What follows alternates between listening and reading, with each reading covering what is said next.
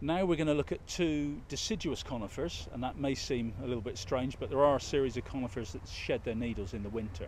Now uh, we're going to look at two larch species. This is European larch, Larix decidua, and very distinctive and I think quite an easy species to identify.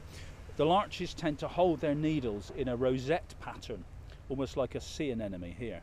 You can see them, if I just rotate that round, you can see these little bundles, these little bursts of needles around the stem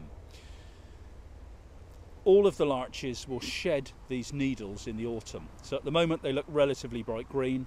By about early October through to November, they'll start to change colour and go to a sort of gold and then a sulphur yellow colour, and then they'll drop all their needles and they'll look like bare stems during the winter. The other way of identifying um, larch is with their cones.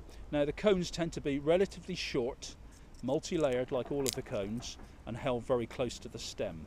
Now this is European larch, Larix decidua, and if you look at the cones, the cone sections are relatively upright. Now we'll contrast that with the next larch species that we're going to look at in a moment, but that's the European larch cone. In terms of timber properties, the larches have some really useful characteristics. They're a bit slower growing than some of the firs and the spruces, but the heartwood of larch in particular tends to be sought after for its stability, stays straight when it's cut, and for its durability. That means it will last quite a long time uh, when it's uh, when it's sawn and dried. Uh, even in contact with the ground or in contact with water, if it's seasoned correctly, it will last many years. So larch has a series of really positive timber characteristics which generally make it a sought after timber. The big problem with larch in the UK at the moment, I'm afraid, is another disease problem.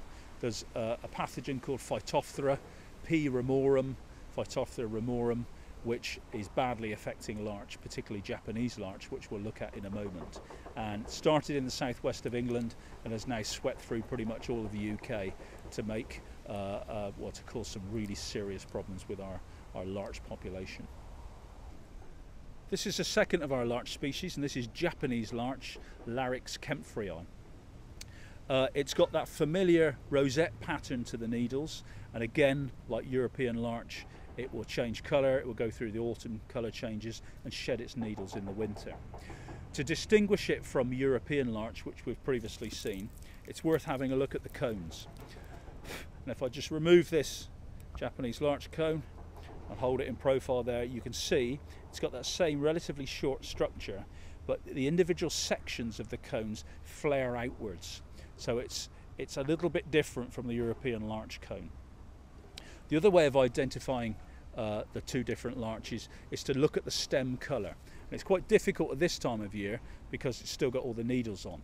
But if you look at it relatively carefully, you can see that the stem colour on the Japanese larch, if I just peel back some of these needles, is quite dark and it's got a sort of darkish brown, almost purple bloom to it. And that becomes more acute as the autumn and winter conditions come in.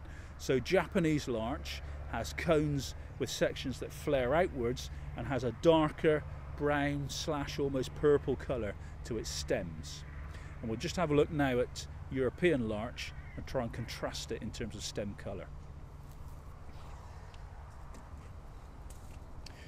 So this is European larch, and again if we strip some of the needles off, you can see that the stem colour is much paler than the Japanese. So this is European larch, it's got pale stems to it, and it's almost a straw colour on this year's growth. And as we move towards the autumn and winter, the differentiation between the European and the Japanese will become easier with this stem colour because the Japanese larch stems will get darker darker brown, almost purple, and the European larch stems will stay straw coloured.